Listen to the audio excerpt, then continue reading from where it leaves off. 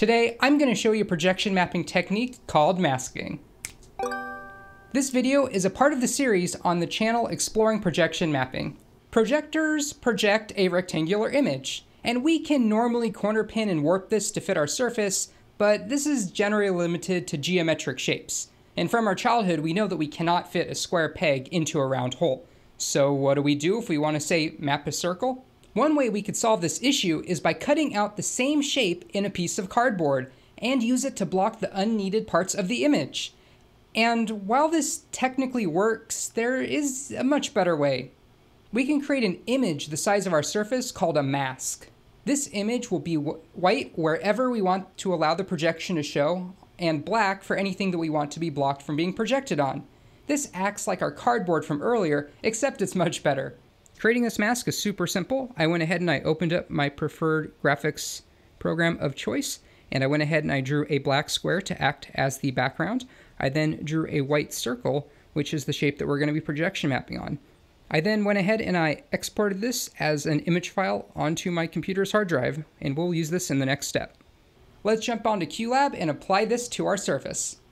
So what I've already done is I've opened up QLab, and if you do not have the paid version of QLab, go ahead and go up to the QLab menu and select Start Demo Mode, and this will open up uh, temporarily some of the features we're going to be using in the software. You can't save, but at least you'll be able to follow along if you so choose. The first thing we need to do is create a surface, and as usual, we're going to do that by going to the gear icon in the bottom right-hand corner, clicking on Video.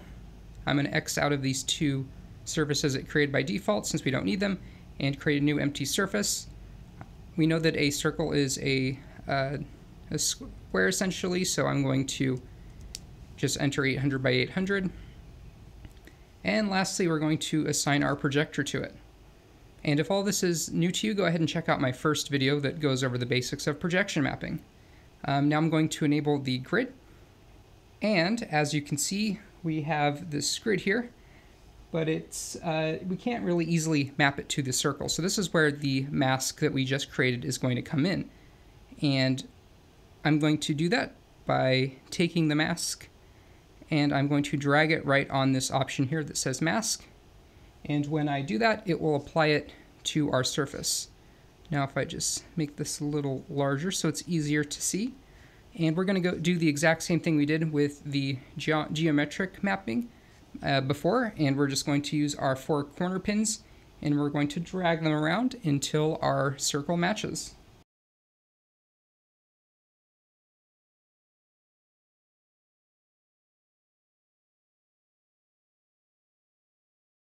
There we go. This is a super rough mapping. You can take as much time as you need to dial it in, but I'm just going to continue on. So when we're done, we can uncheck the grid. And now we need to put some content on it. And to do that, I'm just going to drag in a video file I already have. And going down to displays and geometry, I'm going to select the surface we just created. And now when I press the spacebar, we can see that it's playing inside the circle. Uh, once again, we need to select the video and change from full surface to custom geometry. And then we can pull down this scale here to make our image fit our full surface without too much overlay. And we can see there we go. We have now successfully projection mapped this circle. You can also use masking to do some pretty neat foreground and background content. I cut this piece into a random shape and drew some more random shapes inside of it. Using my graphic software, I masked out the surface and the shapes. By taking the mask and inverting it, we can create two different surfaces, one for the foreground and one for the background, and then assign whatever we want to it. Neat! Masking is a great tool in the projection mapping toolbox, since it allows the designer to define exactly what we want to project on, no matter how complex the geometry. If this video helped you out, feel free to give it a thumbs up, and I will see you next time.